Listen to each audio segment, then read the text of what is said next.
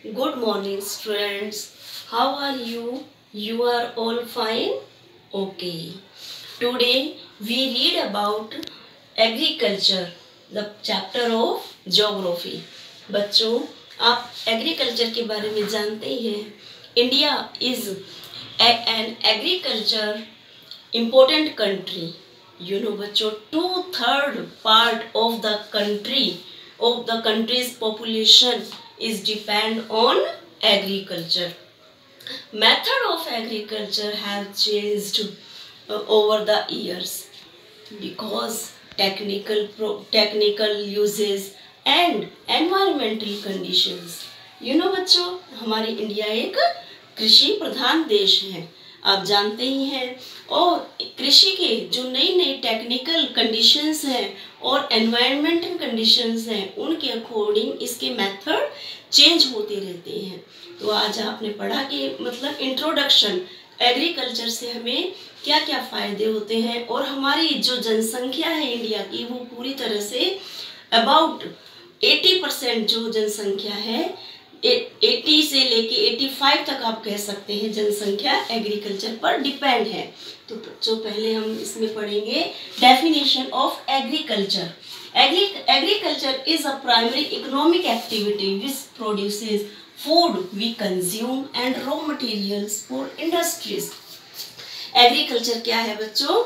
एक ऐसी primary activity है प्राइमरी एक्टिविटी मीन्स हमारे थ्री एक्टिविटीज़ में जो इकोनॉमिक सेक्टर्स डिवाइडेड है, उसमें प्राइमरी इकोनॉमिक एक्टिविटी हमारी एग्रीकल्चर है, जिसके द्वारा हमें फ़ूड प्राप्त होता है, जो कि हम कंज्यूम करते हैं, खाते हैं।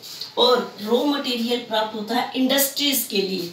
इंडस्ट्रीज़ जो कि हमारे यूज़ की जो चीज़ें प्रोड्यूस करती हैं, उसका रॉ मटेरियल जो है, उसका कच्चा जो मटेरियल है, वो हमें कहाँ से प्राप्त होता है? इंडस्ट खेती से एग्रीकल्चर से, कृषि से। तो इसी वजह से आप कह सकते हैं कि जो भी फाइनली चीज़ हमारे पास पहुँचती है मोस्टली वो एग्रीकल्चर के द्वारा ही उपलब्ध होती है। तो सेकंड डेफिनेशन हम पढ़ेंगे बच्चों agro based industries depend on raw material which grown from agriculture are called agro based industries जो इंडस्ट्रीज़ एग्रीकल्चर पर निर्भर रहती है, उनके रॉ मटेरियल पर निर्भर रहती है, उनको हम एग्रो बेस्ड इंडस्ट्रीज़ बोलते हैं। Raw material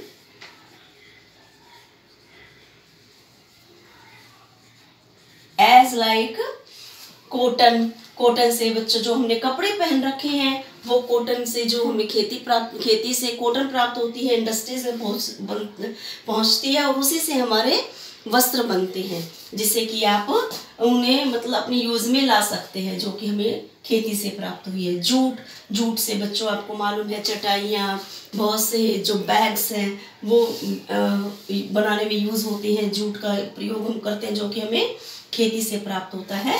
एग्रीकल्चर से मिलता है। शुगर केन गन्ना गन्ना हमें जो है एग्रीकल्चर से प्राप्त होता है और जिससे कि हमारे शुगर बनती है, चीनी बनती है और जो कि हर घर में यूज़ होती है।